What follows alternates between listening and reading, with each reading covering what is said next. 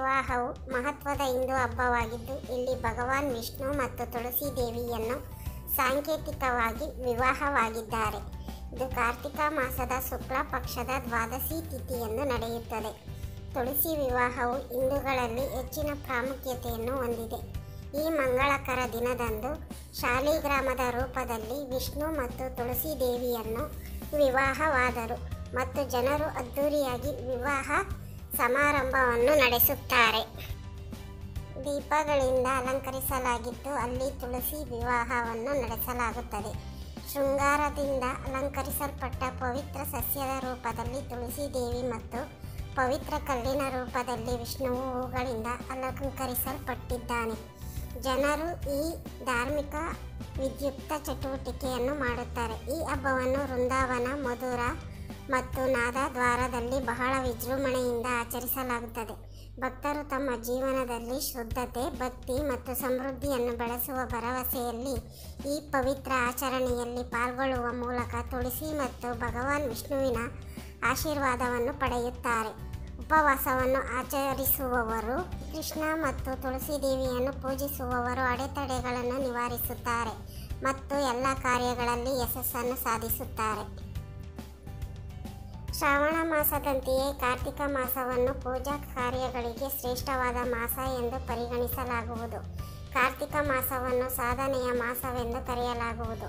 ಕಾರ್ತಿಕ ಮಾಸದ ಶುಕ್ಲ ಪಕ್ಷದ ದಿನ ವಿಷ್ಣು ಚತುರ್ಮಾಸ ನಿದ್ದೆಯಿಂದ ಎಚ್ಚರವಾಗುತ್ತಾನೆ. ನಂತರದ ಸಮಯ ಶುಭ ಕಾರ್ಯಗಳು ಪ್ರಾರಂಭವಾಗುವುದು ಎಂದು ಹೇಳಲಾಗುವುದು. ಕಾರ್ತಿಕ ಮಾಸದ ಶುಕ್ಲ ಪಕ್ಷದ ಏಕಾದಶಿಯನ್ನು ತುಳಸಿ ಹಾಗೂ ಶಾಲಿಗ್ರಾಮ ವಿವಾಹವನ್ನು ಮಾಡಲಾಗುತ್ತದೆ. ಯಾರು ತುಳಸಿ ವಿವಾಹವನ್ನು ಮಾಡುತ್ತಾರೋ ಅವರು ಕನ್ಯಾದಾನದ ಫಲವನ್ನು ಪಡೆಯುತ್ತಾರೆ ಎಂದು ಹೇಳಲಾಗುವುದು. ತುಳಸಿ ವಿವಾಹ ಮಾಡುವುದರಿಂದ ಪುಣ್ಯ ಫಲ ಸಿಗುವುದು. ಮೋಕ್ಷದ ಬಾಗಿಲು ತೆರೆಯುತ್ತದೆ ಎಂದು ನಂಬಲಾಗಿದೆ. ಕೆಲವರು ಬೇಗನೆ ಮದುವೆಯಾಗಲು ತುಳಸಿ ವಿವಾಹವನ್ನು ಮಾಡುತ್ತಾರೆ.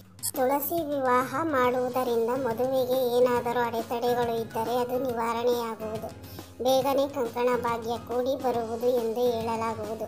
ಇನ್ನು ತುಳಸಿ ವಿವಾಹ ಮಾಡುವುದರಿಂದ ದಾಂಪತ್ಯ ಜೀವನದಲ್ಲಿ ಸಮಸ್ಯೆ ಬಗೆಹರಿದು ವೈವಾಹಿಕ ಜೀವನ ಸುಧಾರಿಸಲಿದೆ.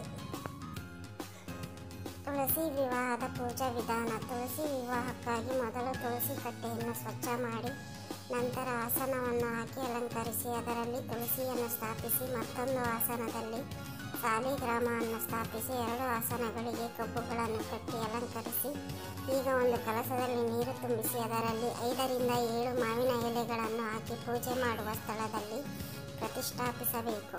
ನಂತರ ಸಾಲಿಗ್ರಾಮ ತುಳಸಿಯ ಮುಂದೆ ತುಪ್ಪದ ದೀಪವನ್ನು ಬೆಳಗಿಸಿ ಮತ್ತು ರಂಗೋಲಿ ಮತ್ತು ಕುಂಕುಮದೊಂದಿಗೆ ತಿಲಕವನ್ನು ಹಚ್ಚಿ ತುಳಸಿಯ ಮೇಲೆ ಕೆಂಪು ಬಣ್ಣದ ವಸ್ತ್ರವನ್ನು ಅರ್ಪಿಸಿ ತುಳಸಿಗೆ ಬಳೆ, ಬಿಂದಿ ಇವುಗಳಿಂದ ಅಲಂಕರಿಸಿ ನಂತರ ತುಳಸಿಯನ್ನು ಕೈಯಿಂದ ಹಿಡಿದು ತುಳಸಿಯ ಏಳು ಬಾರಿ ಪ್ರದಕ್ಷಿಣೆ ಹಾಕಿ ಪೂಜೆ ಮುಗಿದ ನಂತರ ತುಳಸಿ ಸಾಲಿಗ್ರಾಮಕ್ಕೆ ಆರತಿಯನ್ನು ಮಾಡಿ ಸಂತೋಷ, ಅದೃಷ್ಟಕ್ಕಾಗಿ ಪ್ರಾರ್ಥಿಸಬೇಕು.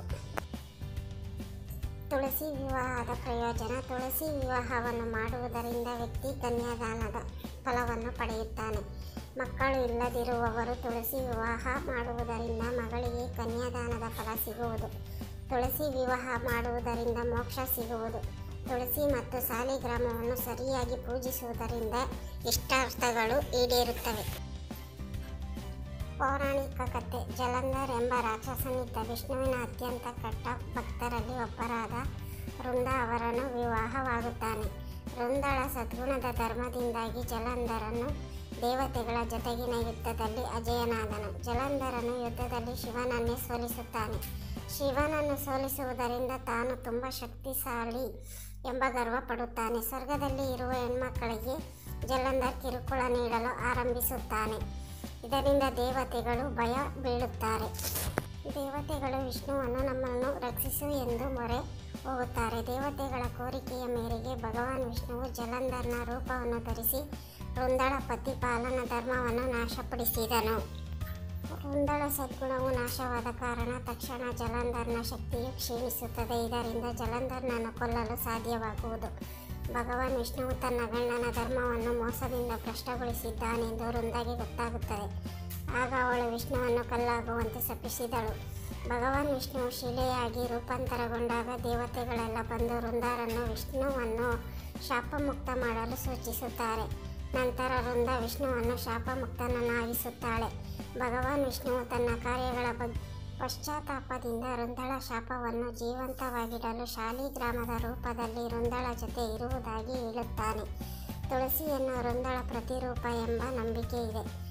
ಅಂದಿನಿಂದ ಕಾರ್ತಿಕ ಶುಕ್ಲ ಪಕ್ಷದ ದ್ವಾದಶಿ ದಿನ ತುಳಸಿ ಹಾಗೂ ಶಾಲಿಗ್ರಾಮ ವಿವಾಹ ಮಾಡುವ ಪದ್ಧತಿ ಇದೆ. ತುಳಸಿ ವಿವಾಹದಂದು ಮಾಡಬಾರದ ಕೆಲಸಗಳು. ಈ ದಿನ ತುಳಸಿ ಗಿಡಕ್ಕೆ ನೋವುಂಟು ಮಾಡಬಾರದು, ಎಲೆಗಳನ್ನು ಕೀಳಬಾರದು. ತುಳಸಿ ವಿವಾಹದ ದಿನದಂದು ತುಳಸಿಗೆ ಬಳೆ, ಬೊಟ್ಟು, ಕನ್ನಡಿ, ಮೇಕಪ್ ವಸ್ತುಗಳನ್ನು ಅರ್ಪಿಸಿ, ತುಳಸಿ ವಿವಾಹದ ದಿನ ಸಾತ್ವಿಕ ಆಹಾರ ಮಾತ್ರ ಸೇವಿಸಿ. ತುಳಸಿ ವಿವಾಹದ ದಿನದಂದು ನೀವು ಉಪವಾಸ ಮಾಡಿದರೆ ಒಳ್ಳೆಯದು. ಈ ದಿನ ಯಾರ ಬಗ್ಗೆಯೂ ಕೆಟ್ಟದಾಗಿ ಮಾತನಾಡಬೇಡಿ. ಈ ದಿನ ಬೆಳ್ಳುಳ್ಳಿ, ಈರುಳ್ಳಿ ಬಳಸಬೇಡಿ. ಅಕ್ಕಿಯಿಂದ ಮಾಡಿದ ಪದಾರ್ಥ ಸೇವಿಸಬೇಡಿ. ಹಿರಿಯರನ್ನು ಗೌರವಿಸಿ. ಜಲಂಧರನು ದೇವಲೋಕವನ್ನು ಗೆಲ್ಲುವ ಉದ್ದೇಶದಿಂದ ದೇವತೆಗಳ ಮೇಲೆ ಯುದ್ಧ ಸಾರಿದನು. ಅವನ ಮಡದಿ ಪ್ರತಿನಿಷ್ಠೆಯ ಸಂಕಲ್ಪ ಹೊತ್ತು ಪೂಜೆಗೆ ಕುಳಿತಳು. ದೇವತೆಗಳಿಗೂ ಜಲಂಧರ್ನನ್ನು ಎದುರಿಸಲು ಅಸಾಧ್ಯವಾಗುತ್ತಿತ್ತು. ವೃಂದಳ ಪ್ರತಿನಿಷ್ಠೆ ಹೆಚ್ಚಾದಷ್ಟು ಜಲಂಧರ್ನ ಶಕ್ತಿ ಹೆಚ್ಚಾಗುತ್ತಿತ್ತು. ಆತ ಯುದ್ಧದಿಂದ ಜಯಶಾಲಿಯಾಗಿ ಮರಳಿ ಬರುವ ತನಕ ಸಂಕಲ್ಪ ಸಾಧಿಸುವುದಾಗಿ ಆಕೆ ಗಂಡನಿಗೆ ಮಾತು ಕೊಟ್ಟಿದ್ದಳು.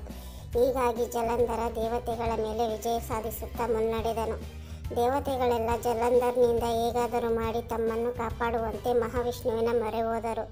ಮಹಾವಿಷ್ಣುವಿನ ಬೇರೆ ದಾರಿ ಇಲ್ಲದೆ ನನ್ನ ಭಕ್ತಿಗೆ ಘೋರ ಮೋಸ ಮಾಡಿದನು. ತಾನೇ ಜಲಂಧರ್ನ ಕಪಟ ವೇಷ ಧರಿಸಿ ವೃಂದಳ ಮುಂದೆ ಪ್ರತ್ಯಕ್ಷನಾಗುತ್ತಾನೆ. ಮಾರುವೇಷದಲ್ಲಿ ಬಂದ ವಿಷ್ಣುವನ್ನು ಗುರುತಿಸದೆ ಆಕೆ ವಿಫಲಳಾದಳು. ಯಾಕೆ ತನ್ನ ಗಂಡ ಯುದ್ಧದಿಂದ ಮರಳಿ ಬಂದರೆಂದು ತಿಳಿದು ಮಾರುವೇಷದಲ್ಲಿರುವ ವಿಷ್ಣುವಿನ ಪಾದವನ್ನು ಸ್ಪರ್ಶಿಸಿದಳು. ಪ್ರೀತಿಯಿಂದ ಮಾರುವೇಷದಲ್ಲಿದ್ದ ವಿಷ್ಣುವನ್ನು ನೋಡಿದಳು. ಇದರಿಂದ ಪತಿನಿಷ್ಠೆಯ ಸಂಕಲ್ಪ ಅಪವಿತ್ರವಾಯಿತು. ಯುದ್ಧದಲ್ಲಿ ಅವಳ ಗಂಡನ ಶಕ್ತಿ ಕುಂದುತ್ತಾ ಹೋಯಿತು. ಇದೇ ಅವಕಾಶವನ್ನು ಬಳಸಿಕೊಂಡ ಶಿವನು ಜಲಂಧರ್ನನ್ನು ತ್ರಿಶೂಲದಿಂದ ಸಾಯಿಸಿದನು. ಅವನ ತಲೆಯನ್ನು ಕತ್ತರಿಸಿ ಭೂಮಿಯೆಡೆಗೆ ಬಿಸಾಕಿದನು. ಅವನ ತಲೆ ರುಂದಳ ಪಾದದ ಬಳಿ ಬಂದು ಬೀಳುತ್ತದೆ. ಆಗ ಅವಳಿಗೆ ತನ್ನ ಸಂಕಲ್ಪ ಅಪವಿತ್ರವಾಯಿತೆಂದು ಅರಿವಾಯಿತು. ತಾನು ಮೋಸ ಹೋಗಿರುವುದು ಗೊತ್ತಾಯಿತು. ತಾನು ಪೂಜಿಸುತ್ತಿದ್ದ ದೇವರೇ ತನಗೆ ಮೋಸ ಮಾಡಿದನೆಂದು ತಿಳಿದು ವೃಂದ ಕೋಪ ಮಾಡಿಕೊಂಡಳು. ಅದೇ ಕೋಪದಲ್ಲಿ ಆಕೆ ಮಹಾವಿಷ್ಣುವಿಗೆ ಕಗ್ಗಲ್ಲಾಗುವಂತೆ ಶಾಪವನ್ನಿಟ್ಟಳು. ಆಗ ವಿಷ್ಣು ಸಾಲಿಗ್ರಾಮವೆಂಬ ಕಲ್ಲಾದನು. ನಂತರ ಆಕೆ ಅವನಿಗೆ, ನೀನು ನಿನ್ನ ಪತ್ನಿಯ ವಿರಹ ವೇದನೆಯನ್ನು ಅನುಭವಿಸುವಂತಾಗಲಿ.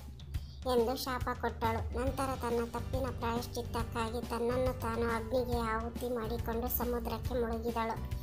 ಆಗ ಅವಳ ಶಾಪದಿಂದ ಮಹಾವಿಷ್ಣುವನ್ನು ಕಾಪಾಡಲು ದೇವತೆಗಳೆಲ್ಲ ಸೇರಿ ಅವಳ ಆತ್ಮವನ್ನು ಸಸ್ಯಕ್ಕೆ ವರ್ಗಾಯಿಸಿದರು. ಅದಕ್ಕೆ ತುಳಸಿ ಎಂಬ ಹೆಸರಿಟ್ಟು ನಂತರ ಪ್ರಬೋಧಿನಿ ಏಕಾದಶಿ ಎಂದು ಶಾಲಿಗ್ರಾಮದ ರೂಪದಲ್ಲಿರುವ ಮಹಾವಿಷ್ಣುವಿಗೂ ಮತ್ತು ತುಳಸಿಗೂ ಸಾಂಕೇತಿಕ ವಿವಾಹ ಮಾಡಿದರು. ಇದರಿಂದ ವಿಷ್ಣುವಿಗೆ ಸಿಕ್ಕ ಶಾಪದ ಪ್ರಮಾಣ ಕಡಿಮೆಯಾಯಿತು ಆದರೂ ವಿಷ್ಣು ರಾಮನ ಅವತಾರದಲ್ಲಿ ತನ್ನ ಪ್ರೇಯಸಿ ರಾಧೆಯಿಂದ ವಿರಹ ವೇದನೆಯನ್ನು ಅನುಭವಿಸಿದನು. ವಿಷ್ಣು ಹಾಗೂ ತುಳಸಿಯ ವಿವಾಹ ಸವಿನೆನಪಿಗಾಗಿ ಪ್ರತಿ ವರ್ಷ ತುಳಸಿ ವಿವಾಹವನ್ನು ಆಚರಿಸಲಾಗುತ್ತದೆ. ಇಲ್ಲಿಂದ ಇಂದು ವಿವಾಹಗಳು ಪ್ರಾರಂಭವಾಗುತ್ತವೆ.